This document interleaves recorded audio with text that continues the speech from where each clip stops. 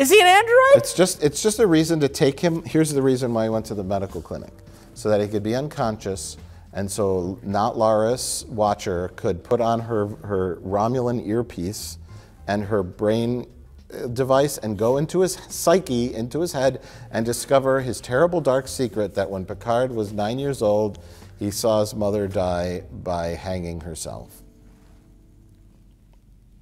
And then, then say, what, well, what now? And then, time is something that you wish you could reverse.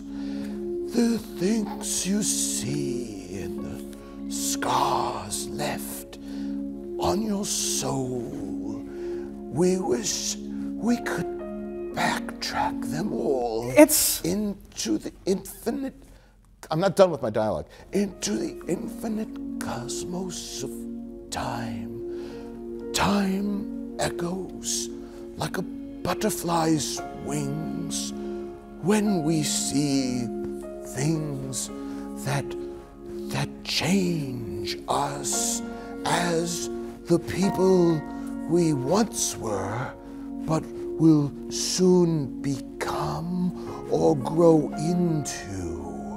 If we reverse the time our lives, we have to recognize the moments that we share with each other now are priceless. And if we take those moments in time and we appreciate them and love them and truly realize that when we look up at the night sky and see the stars as they are, those stars once were different stars. And we realize in here we become something new. Wait, hold on. I, I, my phone is ringing. I think they're calling me to write for Star Trek Picard.